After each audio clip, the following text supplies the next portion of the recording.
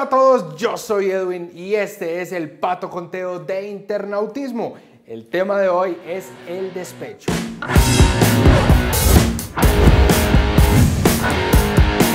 ¿Qué es el despecho? El despecho es cuando una chica es copa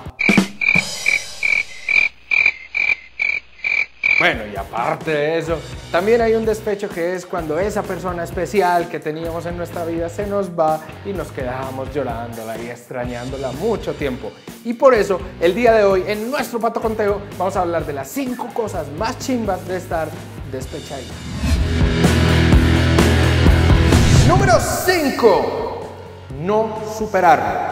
De las cosas más lindas de estar despechado es guardar todavía la esperanza boba de que esa persona algún día va a volver. Así uno sepa muy en su interior que eso no va a pasar, uno le gusta vivir con esa esperanza. Así que empieza uno a buscar estrategias para hacer que esa persona vuelva y claro, se le ocurre la mejor, la más brillante, la más eficiente, la más contundente. Llamarla borracho a las 2 de la mañana. Aló, no, no, no, no, no me vaya a colgar que no, no, no llame a fastidiar. Yo ya sé que no quiere volver, pero le quería decir que la marica que yo la pienso mucho todavía. Vea, escuche, escuche esa canción. Inaudito fuera que yo Escuche siguiera Bueno, amando. ¿quién está ahí? Se acabaría mi ¿Usted por qué está con ese man? Aló. Tu comportamiento Seguro ella se va a conmover con tu llorada y tu intensidad. O de pronto te pone una orden de restricción o alguna cosa.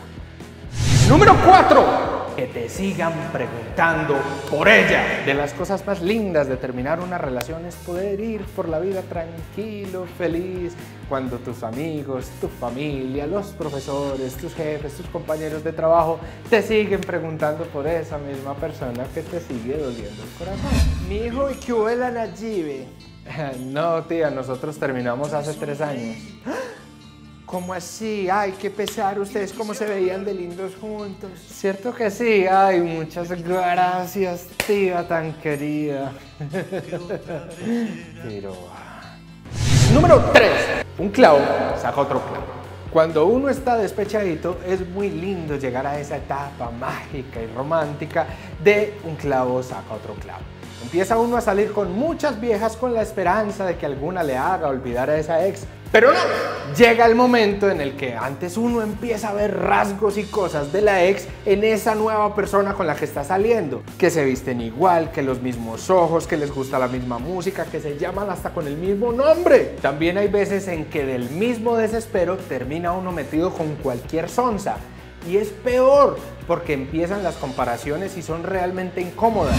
No, ella era más bonita, ella era más tierna, ay, ella bajaba más buena. Y termina uno literalmente llorando sobre la leche derramada. Y claro, es triste porque uno iba con la idea de que un clavo saca otro clavo, pero la verdad lo único que uno quería era seguirla clavando a ella.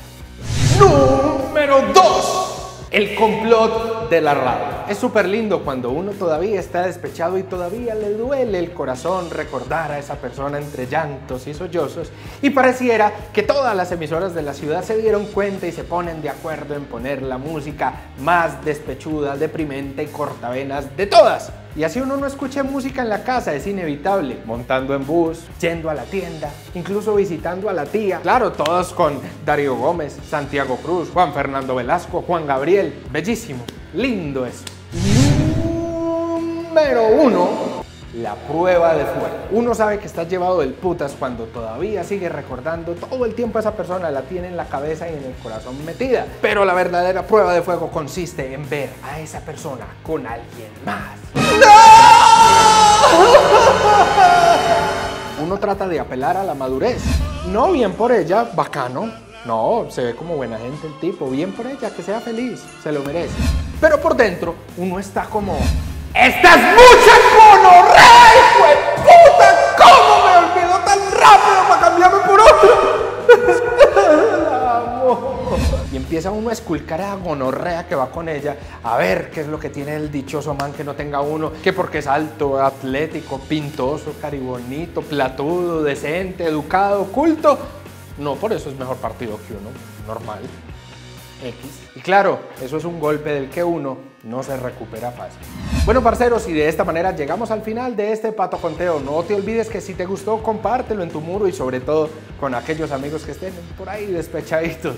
Y también no se te olvide que si quieres sugerir temas para nuevos conteos, puedes usar el hashtag UnPatoConteoD. Suscríbete a todas nuestras redes sociales. Mi nombre es Edwin y nos vemos en un próximo Pato Conteo. Chao, Pingüin.